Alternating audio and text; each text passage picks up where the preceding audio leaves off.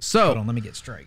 Let me get. yeah, let me can get you please can you please I get mean, do you yourself see much- figured this- out? Does this room slope? No, it doesn't slope. You're just a midget. From but your waist, do you know what the deal is? You got Fred Flintstone legs, and your upper torso is like four feet long. That's the problem. is that what it is? Thanks. Thanks for that enlightenment. You now that we've discussed So you get that. Yeah, I bet your pant legs are what, 30 inches? okay. Yeah, can you push your mic way? up? Okay. Can you push your mic up and your volume down, please? need to shut your mouth. yeah, yeah. I listen. Are we- Okay. Are we recording everywhere? Yes. All right. Here we go. So, what's up, everyone? Welcome to the That Church podcast. This is week, gosh, four of Angels and Demons. This week, we are talking about angel stories in Scripture. So, we are talking specifically, we're not going to waste any time. This is a podcast for That Church and the world, uh, and it's hosted by myself and Dad, uh, Pastor Scott Harness of That Church in Sherwood, uh, and then myself, uh, Pastor Kendall Harness of That Church in Cabot. So, uh, with that said, I want to jump into this because I think we've got a boatload of content to cover. We had a pre we had a pre-show meeting and the pre-show meeting was like an hour and a half. Even Brady was pointing out how long the pre-show meeting was.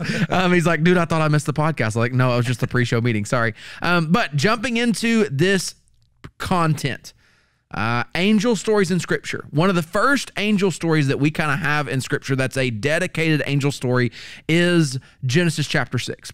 Um, Genesis chapter 6 is a story of a group of angels that rebel against kind of what God wants them to do and they get with humanity. We'll talk more about the story in a second, but kind of set that story up for me, if you will. Yeah. So I think, first of all, it's really important, and you and I both discussed this.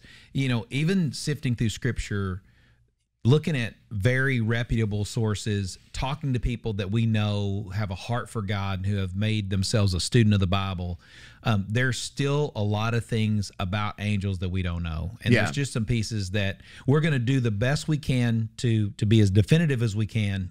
you know, really depending on you know what the Bible gives us. But there's there's still some pieces that are missing. Here's what we know about this story. First of all, which which makes this stand out is that in human history, the Bible tells us that um, it reveals that there's two global judgments. In Right. other words, where God absolutely brings punishment, global punishment to the earth um, because of her rebellion. And uh, one of them is in history, and that's Right. one we're going to look at. That's the flood. The other one is yet to come, and that's at the final judgment. And so this one is the very first time God absolutely destroys the earth. Yep. Um, and he does it with water.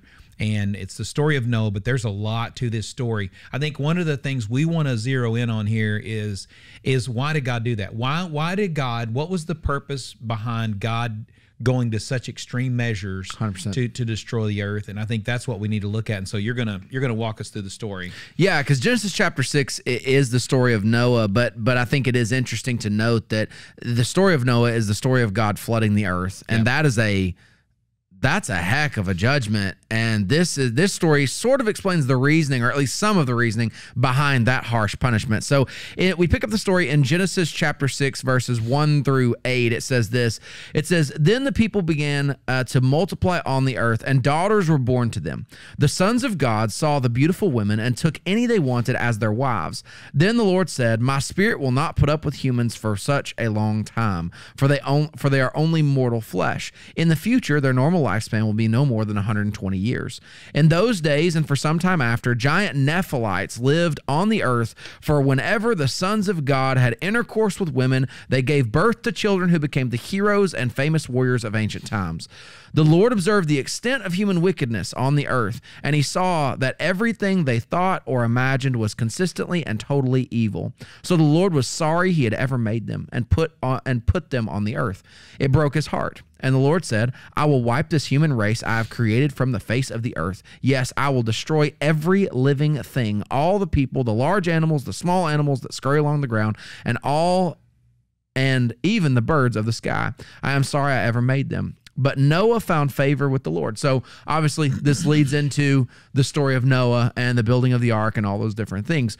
Um, but from there, we see this basically there's a group of angels, sons of God. So we kind of want to talk about that. Do you want to talk about Job and kind of what that looks Yeah. like? Who are these these sons of God that are spoken of in in Genesis chapter six? Well, um, we believe that they're they're a class of angels. Angels, yeah. and you know we use the word angels very broadly. the The title angel means messenger or it means one sent, and so so we have these these angelic beings, but it's it's much deeper than that. But let's just kind of look at it and see how we get that these are some type of spiritual being Angels, that's been yeah. created. Um, Job chapter 38 and verse 7 says, The morning stars sang together, and as the sons of God shouted for joy. This was at the, the setting of the foundations of the earth. Um, the sons of God were there. And we've already seen in other teachings that this is a reference to the angels.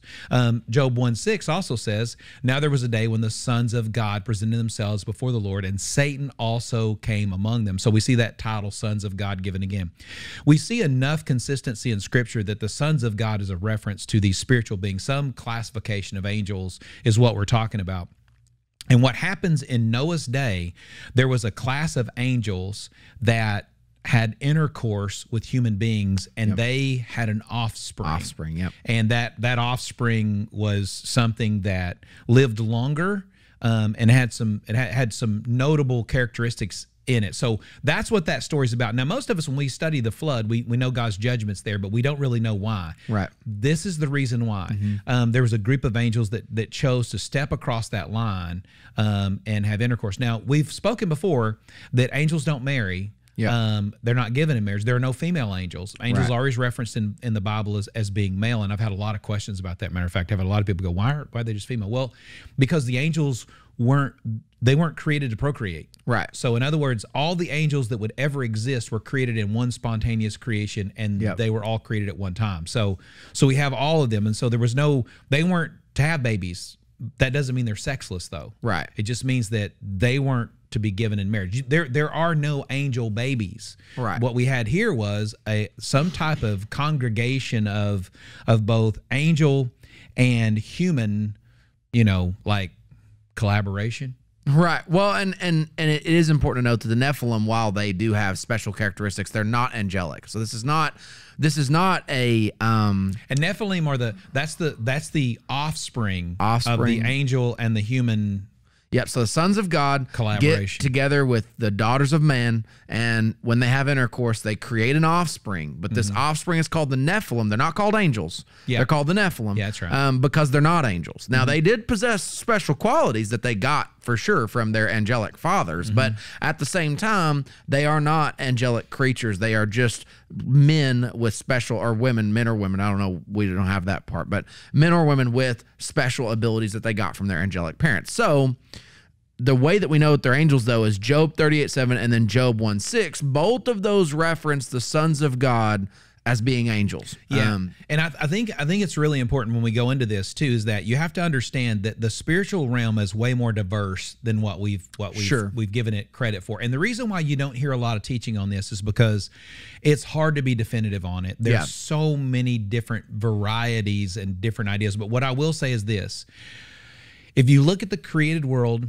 the, the material world that we live in, and think about the diversity that we have here uh, among plants and animals and geography and so forth, there's no reason to believe that God become less creative in the spiritual realm than Sure. he was in the physical realm. It's very creative, and so when you start hearing these titles, the reason why you know we go, well, this is a classification of these spiritual beings like angels.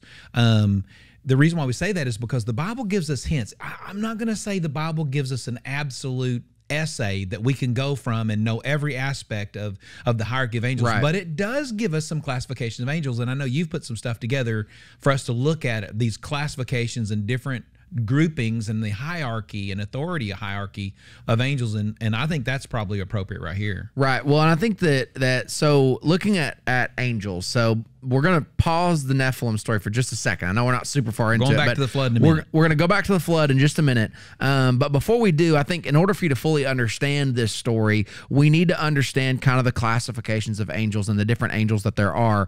Um, and so there again, there's a lot we do not know about angels. There's a ton, but but there is also a lot that is confirmed in Scripture. Um, the first classification and and the highest classification of angel that we have in Scripture is called the archangel, um, or the archangels, depending upon how you want to kind of talk that through. But Yeah. but we have one angel that carries the title of archangel, and that's Yeah. Michael. Yeah. Uh, Michael is named in Scripture, and he is called the archangel. He is he is called that. Now, when you look at uh, Lucifer in Ezekiel chapter twenty eight, uh, the the description in Ezekiel twenty eight gives you a feeling that he is of the highest class of angels. If there is the word arch in archangel means chief uh, Yeah. angel, and Yeah. so uh, so if, if if if there is a class of chief angels, Yeah. the description in Ezekiel 28 of the devil seems to put him in that same class, although it does not give him the same title. It does not give him the title of archangel, but it definitely gives him all of these compliments that would make you think he's got to be at the top. If there's a hierarchy, Lucifer and Michael are the two named creatures in uh, angelic creatures in the bible that we go man they have got to be at the top and archangel is the title of the top angels and so we are not going to say i'm not going to say definitively that the devil is an archangel but i will say this I think a was an very archangel. or was an archangel, right? I think a very reasonable argument can be made that he and Michael are the archangels Yeah. themselves. If you look at scripture, uh, Daniel 10 uh, says princes. Uh, it talks about the princes, which we sometimes defer, term as archangel, chief uh, chief princes. And so it says chief princes, S, meaning plural. Um, now, Jude 1 9 labels Michael as the archangel. Also in 1 Thessalonians 4 16, it labels Michael as the archangel. I have a theory about this. Again, it's a theory. Uh, We're having- making some conjecture here that that when you look at First Thessalonians 4:16 and you look at Jude 1:9, both of those are written after the fall of Lucifer. And I think what some of they're saying by targeting Michael and saying he's the archangel could be also that he's the only archangel that's still in his proper position. Yeah, Lucifer would have lost his in the fall. Again, that's a could be thing. I don't know for sure. All that to say this archangels, as far as those that carry the title in scripture, Michael's the only one that has the title. Lucifer has a very good argument. Outside of that, we have no other named archangels in scripture. Does not mean there's not any other, just means we don't have any others named. The reason I make that such an important point is because non biblical writings, a lot of them interject that there are multiple archangels. Seven is what I've read. And the thing is, is that, and they've got names on powers and all this other stuff. The problem with that is that none of those are named in scripture. None of those are named in scripture. The only one that carries the title is Michael, and the only other one that you could even make an argument for is Lucifer. One of, one of them is a Ninja Turtle, isn't it? Yeah, Raphael. Yeah, Yeah. they've got a Yeah. so so a lot of a lot of non biblical writings. uh, Can, uh, they say that Raphael is a is a one archangel. names. Yeah. one of the names. of The And we know he's a Ninja Turtle, so we know that's not true for sure. That's the one thing we can speak on with authority. right. We know that's not going to Yeah. work. He's Yeah. not running around with little Don't daggers be and throwing little, a Ninja Turtle little, up there among the angels. red sash. They've saved the world a few times, but not on that. Level. not on that level, right? And so, th- so those are the archangels, and that's that's Michael specifically, but then also an argument could be made for Lucifer. The second Yep. class that we're going to talk about is the cherubim, um, and the way you say this, the cherubim is plural, cherub is an individual. It's like cacti and cactus. You know, it's like it's it's it's a uh, it's there's a multiple and then a, a singular. Um, but this is the worshiping class of angels. Mm-hmm. Uh, based on scripture, it says that Lucifer was the anointed cherub, meaning that we believe that he is absolutely the leader of this class of angels, Yeah, which would are. again would make sense with the archangels portion. Um, would back up other things we've heard. Other places in scripture that you find cherubim, uh, they're on the lid of the ark of the covenant. Yeah. um, they are the angels that are positioned there, which is interesting. Uh, and then you have a cherub at the gate of the Garden of Eden in Genesis chapter three. So while this is a a worship class of angels, um, you've got to also think that God needed one angel to guard the tree of life, and He didn't choose a warring angel. He chose a cherub with, but that it says in Scripture that that cherub had a flaming sword, uh, and it's you know guarding the Garden of Eden. So, Yeah. um, which the reason it's guarding the Garden of Eden is because of the tree of life. It is trying to keep us from the tree of life, or anyone from the tree of life. Well, and since they since their group kind of screwed that up, maybe they, they got that detail. Well, and that's and like a couple of weeks ago we were talking about Lucifer and how Lucifer is the the cherub and he was in the Garden of Eden is what um, Ezekiel twenty eight says he was in the Garden of Eden uh, and and in the Garden of God. And I think the interesting part is that I think a piece of the Garden of Eden, or at least a large chunk of it, would have been the responsibility of the cherubim. Yeah. Um, and that's why they are still guarding it to this day. So they are worshiper angels, but they still do war um, to a Yeah. degree, which we'll talk about. The second class of angels, or sorry, the third class now. So archangels, cherubim, and then there's seraphim, which is Yeah. another group of angels mentioned in scripture. These are the warring class of angels. Mm-hmm. Now, we determine based off scripture and a lot of different things that Michael would probably be the leader of this group, which again would set up the hierarchy of God first overall. Then you've got Lucifer and Michael on the same level, which when they go to war in Revelation 12, Revelation 12 definitely hints that they're at least somewhat equal in power and whatever else. Sure. But you got Michael and then Lucifer, and then underneath of them you would have the seraphim and the cherubim, um, which are you know two different classes of angels for which those two reside over as leadership over those different classes of angels. Um, but the seraphim are warring angels. Uh, we have one particular verse that I wanted to point out in Isaiah chapter six, verse two. Do you want to read that? Yeah. So attending him were mighty seraphim. Each had six wings. Two wings they covered their face. Two they covered their feet, and two they they they flew with. This is this vision that Isaiah has. And so, I've heard a number of times when you look at the wings themselves, um, these wings are giving us a ratio that we live by. So so two wings cover their face. That would be worship. Yep. Um, two wings they cover their feet. That would be walk with God, and then then two wings they fly with. That's work for god. And i've heard people say you know you, you've got to you've got to worship god. You've got to recognize him for who he is. You've got to walk with god. Um, that's a daily walk with god before you can really work for god. And i think that's a great um, a great illustration. There's no doubt these wings and what they're doing with the wings and these seraphim um, is giving us something that we can learn from. Now when we walk through these particular categories of of spiritual beings you'll hear me say spiritual beings a lot because that again the title angel means messenger or one sent. It's not necessarily their title. Right. it, it- it's really more their function, so a seraphim might be an angel Yeah. because they're sent um, but it but it also is a spiritual being that's that's what it actually is and its title is seraphim that's they're they're a seraphim so Well, it's like Anyway. calling a hammer a nail driver. It's like it is a nail driver. That's Yeah. true. That that's what it does. It Yeah. drives nails into things 100%. But it's but it's also called a hammer. Yeah. Um, it's, Or a- it's a finger hammer. masher. Yeah, yeah finger finger masher. a, a- That's what you call it. A curse word inducer, whatever you want to call it. But but um but yeah, so so that's that's the seraphim. So again, we're not going super super super deep detail. There is some more scripture. I'm going to be honest, the real reason why we're not going real real deep into detail on these is because there's not a whole lot of solid solid stuff um, for you to kind of stand on when it comes to right. factual stuff even right. even in scripture as much as scripture does have a lot of detail at the same time this is not an area that God has given just like unbelievable easy to tell detail in right. scripture. Um and we do believe there's a reason for that which we'll get to in a minute. But yeah yeah but number four, the fourth group of of of uh, spiritual beings that are mentioned in Scripture is the are the Watchers. Now, the problem with this is that they're only mentioned in the book of Daniel. They're the Watchers. Um, but I want to show you the the the verse that they're mentioned. It's Daniel 4:17. It says this, "For this has been decreed by the messengers." Now, that word messengers is not watchers, but the way scripture is interpreted, that word is synonymous with watchers. The problem with the word messengers to some degree is that messengers is synonymous with angels. So the word angels is synonymous with messengers, and then messengers is synonymous with watchers. So again, this might not even be a class of angels. This might just be angels that Daniel called watchers for some reason. Um, we don't know why, but I do think this particular verse, Daniel four seventeen, it's interesting to point something out about it. It says this. This is basically when the angels are dealing with Nebuchadnezzar. Nebuchadnezzar has has has rebelled against God, has lived against God, and Nebuchadnezzar is about to get dealt with by the angels. This is Daniel four seventeen. It says, "For this has been decreed by the messengers; it is commanded by the holy ones, so that everyone may know that the Most High, who rules over the kingdoms of the world, He gives them to anyone He chooses, even the lowliest of people."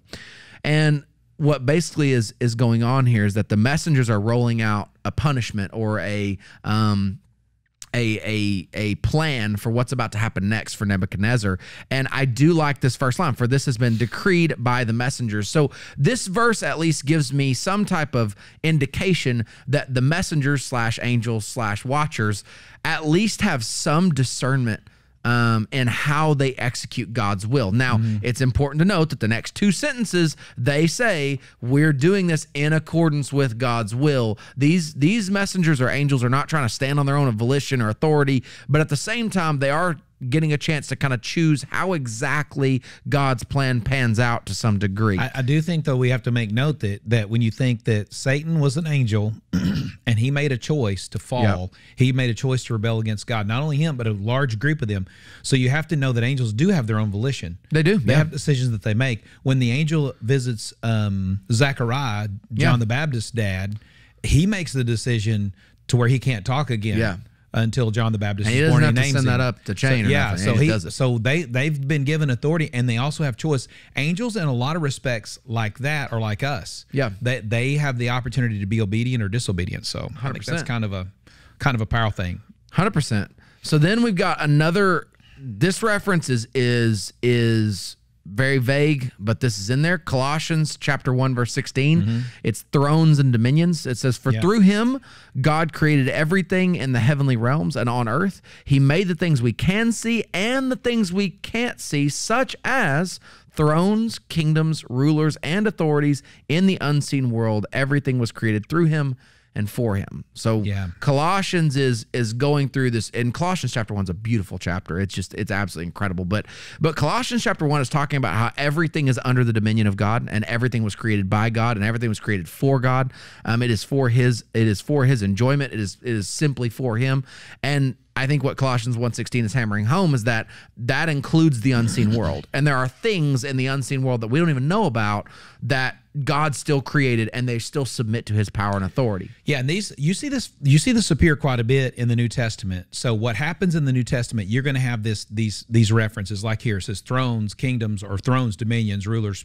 Now, Paul says it also in Ephesians, he said we wrestle not against flesh, and, blood, but against principalities and powers and spiritual wickedness in the heavenly realm. And so all of a sudden you have a you have like this these lists a couple of different times and they're listed in specific order. These are what most of us would agree are spiritual hierarchy. So these are supernatural spiritual hierarchy of the unseen world. And so so you have lists of them. Now again we, we don't know everything about it but what we do know is is that there's a lot of diversity and there's a lot going on and we're going to actually talk more about this as we get into it but yeah that's an, another classification of these spiritual spiritual being and then now we got living creatures Living creatures. The last one that I kind of want to talk about before we get uh, to kind of uh, moving back to the story of the Nephilim is is the living creatures. They're mentioned a couple of times in Scripture. The main time that I wanted to point out is Revelation chapter four, Yeah. verses six through eight, uh, which gives a slight description of what they look like. Um, it says this In front of the throne, uh, which is God's throne, was a shiny sea of glass, sparkling like crystal. In the center around the throne were four living beings, each covered with eyes, front and back. The first of these living beings was like a lion, the second was like an ox, the third had a human face, and the fourth was like an eagle in flight. Each of these living beings had six wings, and their wings were covered. Oh, sorry, were covered all over with eyes, inside and out.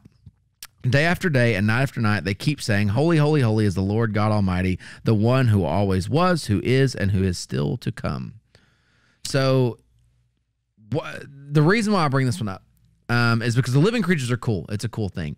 But I think more than that, there's a, a greater point being made here by God, and a greater. This is where the Bible has such incredible symmetry. It has such an incredible thread that runs through it and kind of all points to Jesus. So, walk me through kind of what those each one of these four living creatures one looks like an ox one looks like an eagle one looks like a man one looks like a where's the fourth one? Lion. Lion. There's the four. Um, but those the, each one of these creatures represents something. Kind of walk me into what those representations are if you would. So I think a couple of things that's interesting here is that this reference, as far as the name living creatures, is used a lot with the the, the class of, of spiritual beings known as the cherubim. yeah yeah. The, the the weird deal is here is that the description matches um in a lot of ways the seraphim. it does So so they have more wings than the cherubim do. So the Right. cherubim, remember the cherubim were on the Ark of the Covenant, and that that the image of the cherubim that's on the Ark of the Covenant is it has they have four wings. Well, this one has six, and so uh, you know it's it's hard to understand, and it's hard to go by descriptions to know exactly what you're talking about. Um, and and to make matters even worse is that angels are shapeshifters. Yeah, 100%. and so the Bible tells us that angels are able to look like people. Yeah. And they do. They appear as people and human beings at different times, you know? And so it's a pretty incredible thing uh, when we start dealing when we start dealing with this. But these four living creatures are very specific. First of all, they're bringing they're bringing worship to to the throne of God. Right. Okay, and I think that's a that's a critical part of it. And so they're they're bringing worship. And so how are they worshiping God? Well, they're worshiping God, and they have four specific attributes. And so they have the face of a lion, um, an ox, or some versions say a calf, um, uh, a man, and then an, an eagle. Um, each of these four creatures represent the gospel.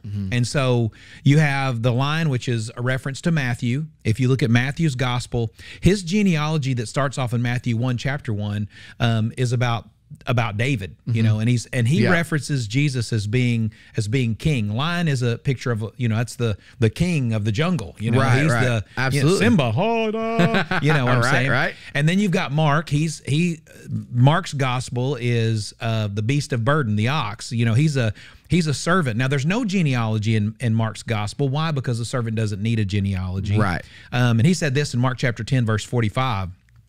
For even the Son of Man did not come to be served, but to serve and to give his life as a ransom for many. And that's Mark chapter 10, verse 45. And so, so Luke's gospel depicts Jesus as a man. So he, he magnifies the humanity of Jesus. He starts Jesus' genealogy with Joseph. So, so Matthew, the face of the lion. Yep. He's portraying him as king. Mark, an ox. That's the beast of burden. Mark's gospel, Jesus is a servant. Luke's gospel depicts Jesus as a man.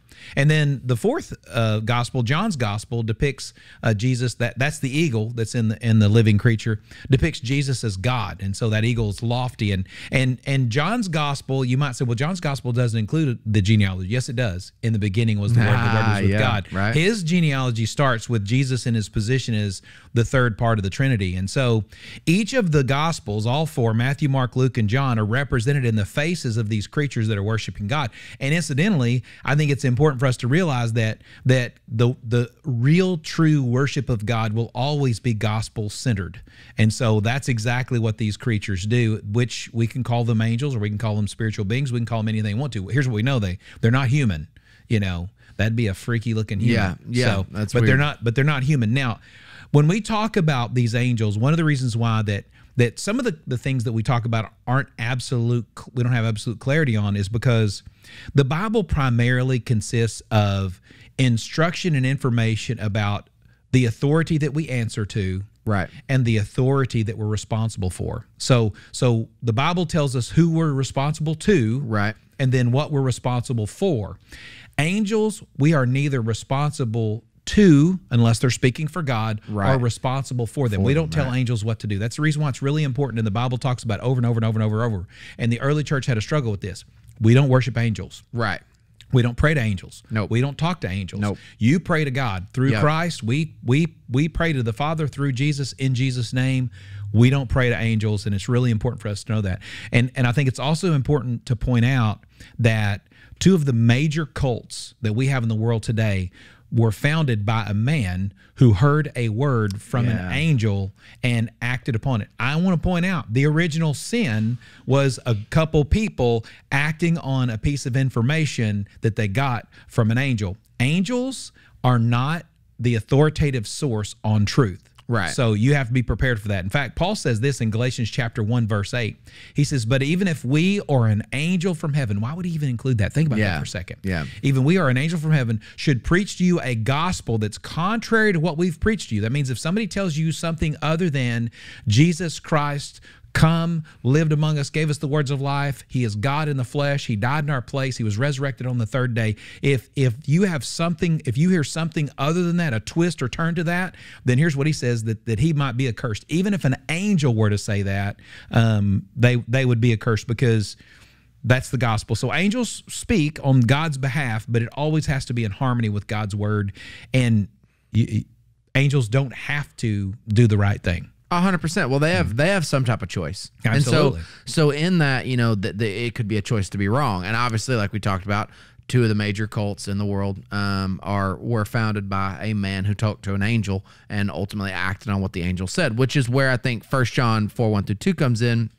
and says, Dear friends, do not believe everyone who claims to speak by the Spirit. You must test them to see if the Spirit they have comes from God, meaning you could have a spirit that does not come from God. Absolutely.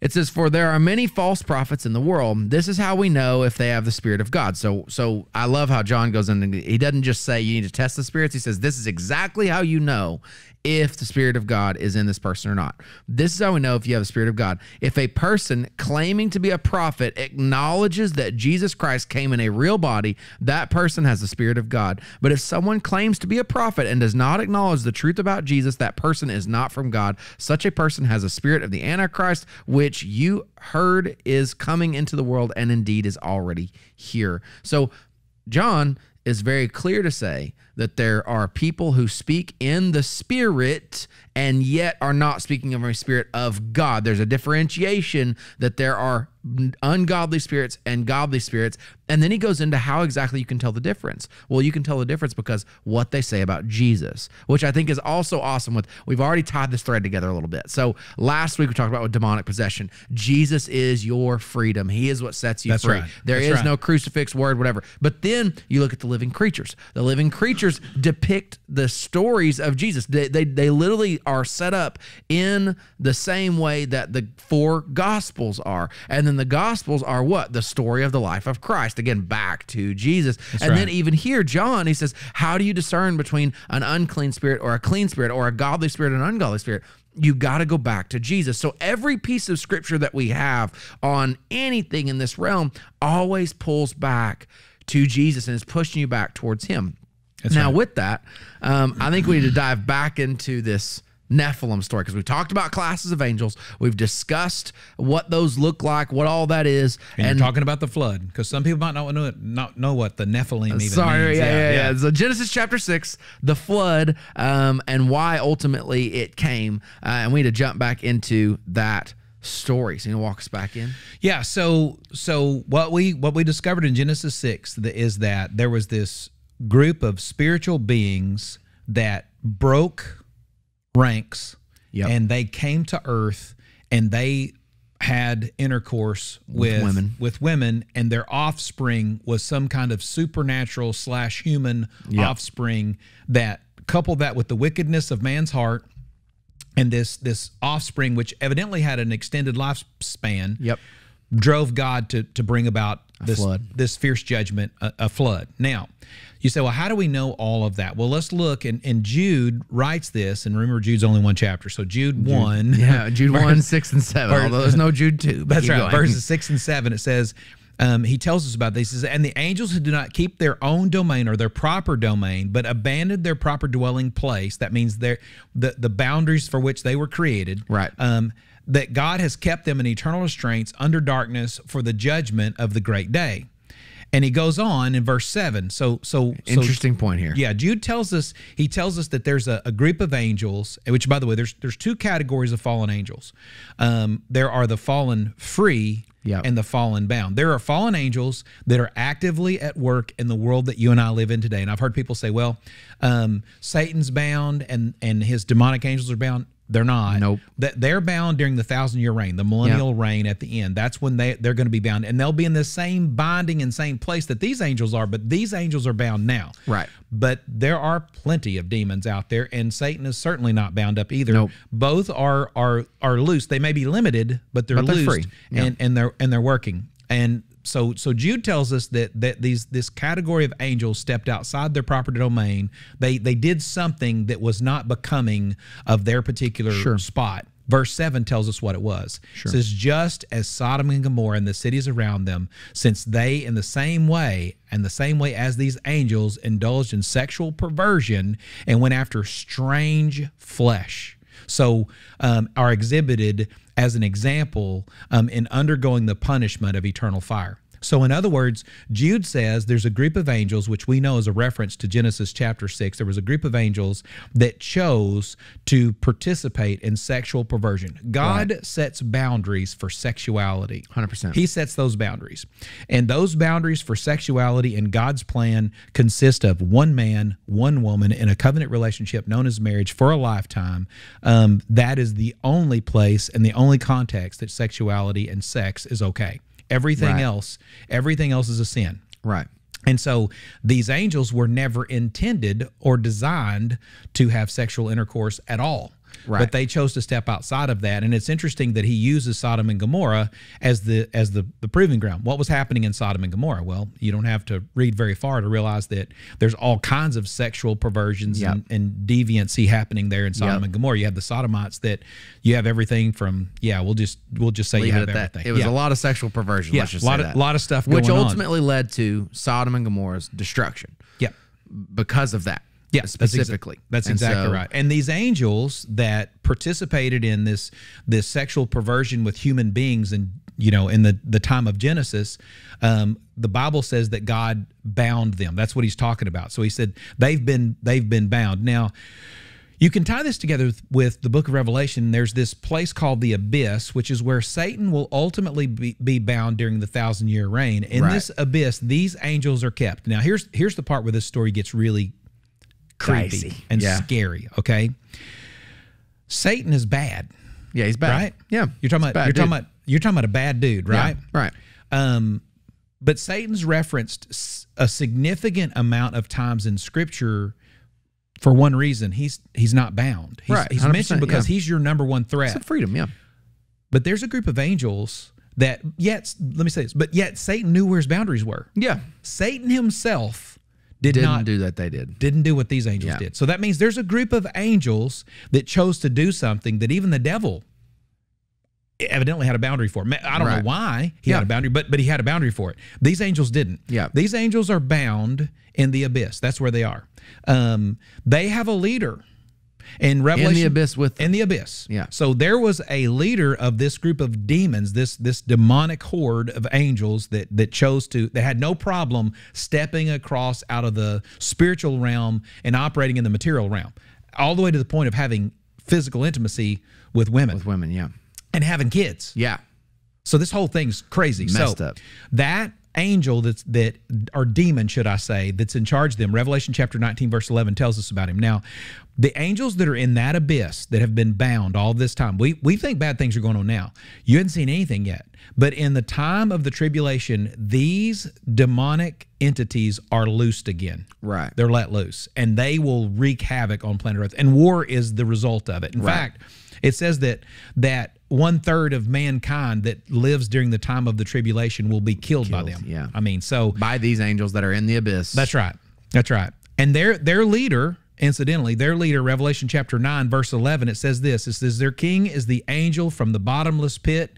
His name in the Hebrew is Abaddon, and in the Greek, Apollyon. And the, the name Apollyon or Abaddon means destroyer. That's Destroyer, yeah. that's their leader. So there are there are demonic entities and powerful angels that may may possibly be worse than Satan yeah. that are bound that one day will be will be loosed Yeah. and and they're going to run and wreak havoc um, on the planet. And so um, these angels that that had intercourse with these women in, back in Genesis, um, and they had children. Those angels are bound. Their offspring was destroyed in the flood, um, and that's where the reset came from. Yeah. Um, and And in Revelation, that abyss that they are held in now will be opened back up, and they will be loosed to right. wreak to wreak havoc on the earth, and it will right. kill one third of all people living on the planet earth. at that one time. Yeah, Um, so- and so they're they're not pleasant angels. No, no, this is a horrible thing. I mean, it's a horrible thing, but but that's the judgment that's going to take place during that time of the tribulation. Now, here's the beauty of it. As a believer, the thing that I'm grateful for, we are a pre-tribulation rapture believing church. I Right. believe that we will not be here for that time. Right. But there will be an entire generation of people that will go through the time of the tribulation and those judgments, and it'll be unlike anything we've ever seen. There will be wickedness there, like unlike anything we've ever seen. So, No, it's absolutely you're absolutely right. And so and so the the kind of bringing it all together. If you look at if you look at Jude and Jude's statement, uh, it is obvious. Job points out this is the the sons of God are angels. Yep. Um. So that's a simple connection there. So when it says the sons of God in Genesis chapter six. Uh, obviously, the sons of God and Job are angels, so we must assume that the sons of God in Genesis chapter six are also angels. Yeah. But then you've got Jude. Um, Jude uh, brings together what exactly these angels did that made God so mad, um, or, or maybe not made God so mad, but at least triggered the harsh punishment that flowed out from God at that point, which was to bind these angels for as a long time. It's been a couple thousand years. On top of that, to flood the earth, the entire earth. Um, so those two pieces are both very harsh. Jude sums it up that it's it's Jude is is writing his letter in opposition to religious leaders in the church who were teaching that certain things were okay when they weren't okay. That's right. That's what Jude's book really is. He's teaching right. against false teachers. He's saying, hey, there are people inside the church, which it's funny how this has always been this way since the very beginning, but there are people who claim to be Christian, who carry the Christian banner, who do not represent Christ the way that Christ is supposed to be represented. Absolutely. And Jude is correcting some of this. And as he is, he reaches into kind of his historical slash biblical slash you know even jesus knowledge. And he goes okay what are the best examples of people or things or whatever stepping out of bounds on god's rules on sexuality? Well the two that are easily the most easiest to point out are these angels that fell in Genesis 6 because they stepped out of bounds on God's rules on sexuality, and then ultimately Sodom and Gomorrah, which also stepped out of bounds on right. God's rules on sexuality. The result was the same destruction.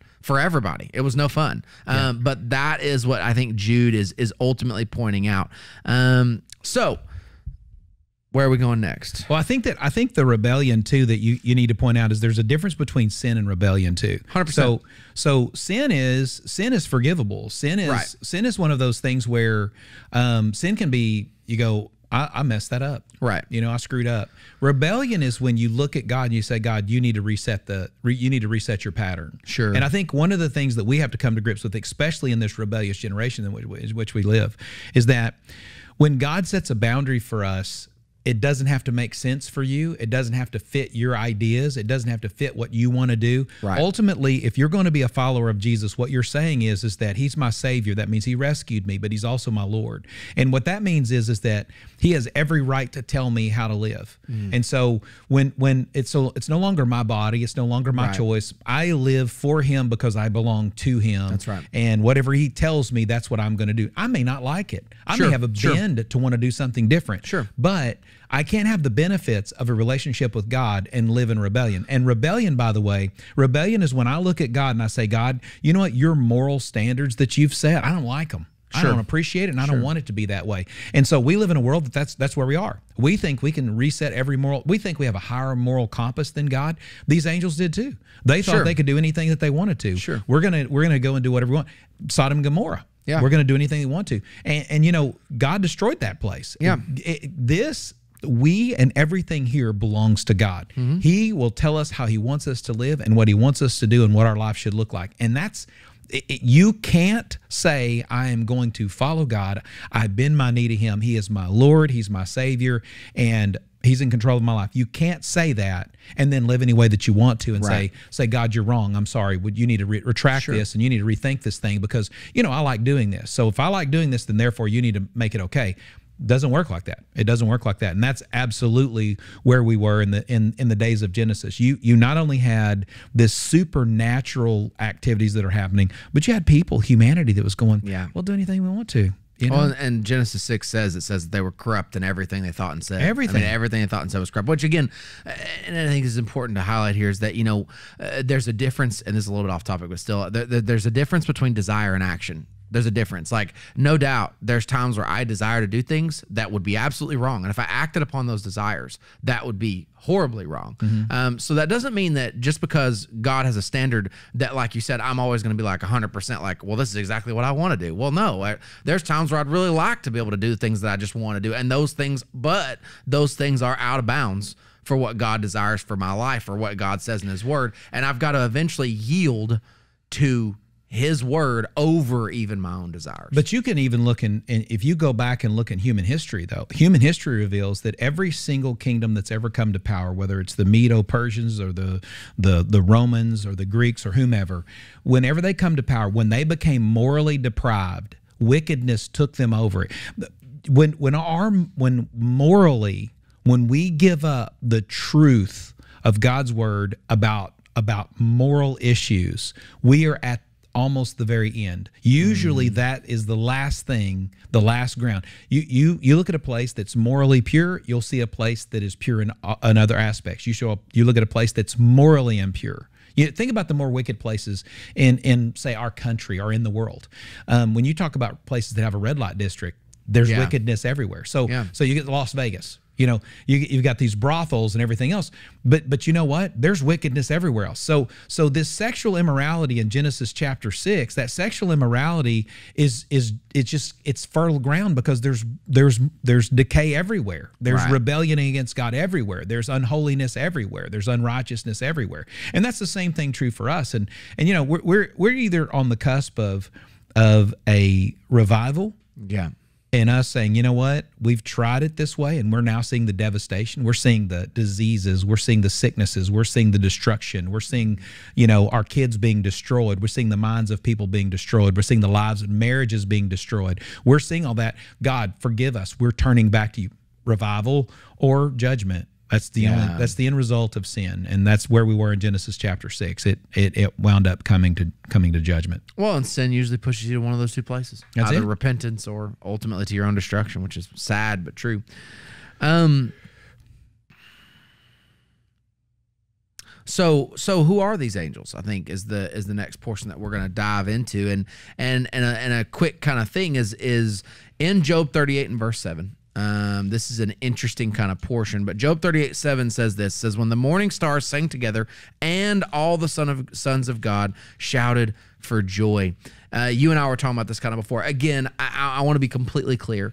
There are a lot of these things that we cannot be definitive on. We cannot be definitive, not because we don't want to be definitive, not because more research would yield more definitiveness, but I believe that God leaves some obscurity in this on purpose. Um, that that we don't know all of what all this looks like, but we can make reasonable assumptions based on what Scripture is saying. Now, here in Job, again, Job thirty-eight seven, it says, "When the morning stars sang together," that sounds like one group of something. And then it says, and all the sons of God shouted for joy. So that sounds like two groups of something. There's sons of God and there's morning stars. Now we know based off scripture that Lucifer himself is referred to as the morning star. And We know that he is a cherub. So the assumption that I'm making here, and we, you could talk me through it, but the assumption that I'm making here is that the morning stars in this verse are the cherubim mm-hmm. because that would be them singing. They're worshipers. Singers are worshipers. And the devil is called the morning star, son of the morning, um, in Ezekiel 28. So again, this is morning stars sang together. And then all the sons of God shouted for joy. Now, the difference is that shouted versus singing a shout is a warrior's chant and a singing is a worshiper's thing so my thought here is that the morning stars would pattern after the oh, the one who's called the morning star, which is the devil, who is a cherub or a cherub, and this would be the cherubim. But then you also have the sons of God, who would be the seraphim. The seraphim are warriors. They would have a shout, not a sing. They don't do the singing thing. They do the shouting thing. And so they're the warriors of heaven. And so these two are singing together in God's presence. This is at the laying, uh, or sorry, this yeah, this is at the laying of the foundation of the earth. They're singing and shouting together, praising God. This is cherubim and seraphim together. But I think the point that this brings us to with Genesis chapter 6 is that Genesis chapter 6 says it was the sons of God who broke their proper abode. Jude chapter 1 verse 7, 6, sorry, says that it is the sons of God, not the morning star, says the sons of God. I think a reasonable assumption could be made here that it is the seraphim, or at least some of the seraphim, who break rank and come down to earth. Yeah. So if you look at the two major classifications of angels, so of, of what we would call spiritual beings, Sure. And I'm gonna, I believe that this is true, and I don't know that I could really argue it, but I believe the two classifications of spiritual beings, you have the cherubim, Yep. with who I believe would be Lucifer or or the devil now would have been the As one the leader there, as the yeah. leader of that, and then you have the seraphim that the leader of that category of spiritual beings would be Michael. Right. I would say that that's the two larger classifications of spiritual beings in Right. heaven. So that would probably be your your larger group. So I agree with you. I think the morning stars that sing that fits the the category Cherubim, of cherubim, the the worship the worship leaders of heaven. now, the second half of that is that the sons of God shouted for joy. Yeah, I, I agree with you. I, I I think the sons of God is probably the seraphim. I I think what what what's important about this to think about is is that when the devil chose to rebel against God, it wasn't just the people in his category that came after him. Convinced, yeah. So not only him, them, but I would say most likely many of the angels or the seraphim who followed Michael the archangel broke ranks Yeah. and went and went with the devil. That tells you how compelling he is. it's that tells you how, how powerful he is. And it does say the sons of God, which means that the angels that followed Michael actually did to some extent worse than what the angels did that followed Lucifer or the devil. Sure. And so, which is kind of a crazy thing. But I do. I, I always relate things back to church, and I think in church we've seen this. It's it's crazy that there will be people that will be with you in one season of your ministry, and another season they'll just leave you. Sure. You know, and they they sometimes leave in a bad way. You know, Sure. and they sometimes go out and throw rocks over the fence at you. You know, or whatever. Um, but but that happened to God in heaven. That's how that's Yeah. how powerful sin is. Sin can confuse us. Sin can can cause us to want to sell something out and these guys sold it out in a big way. And I, I don't know. I think to myself, I wonder how Michael must have felt. You know what I'm Yeah. saying? I mean, Yeah.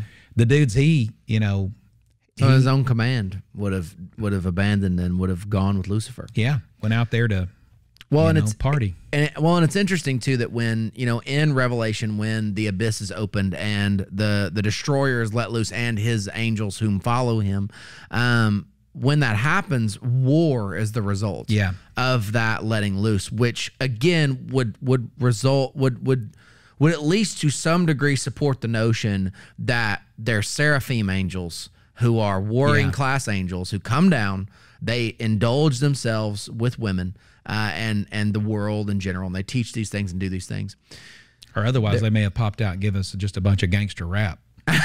just a bunch of they got hymns for you but Some uh, no, some right. explicit content, gangster rap. right. Right. And so like they're not the they they don't seem to be the worshiping class. Although we talked about that cherubs can also do war. We're not saying they can't but at the same time you know when you look at the seraphim they are the warriors. That's who they are. And since when the abyss is opened in revelation they are let loose. And when they are let loose the result is war across the across the world So it's kind of when Leonidas calls out to the Spartans he says, "What do you do?" They don't go, "We are the champ," something like that. they say oh right? yeah that's it that's it that's I'm it not That- recommending that. I'm not recommending that show. Right. Yeah. I'm we just, don't recommend that movie. At I'm just all. saying, hypothetically. Yeah. If you saw it If somehow with the with, uh, with I think that's a pretty, on. I think I feel like we've we've exhausted um, this. I do think it's a, a powerful thing. One of the takeaways that I do think, you know, as we kind of start to wrap this up, I think is that I really believe that understanding that we are spiritual beings Yep. living in a material world.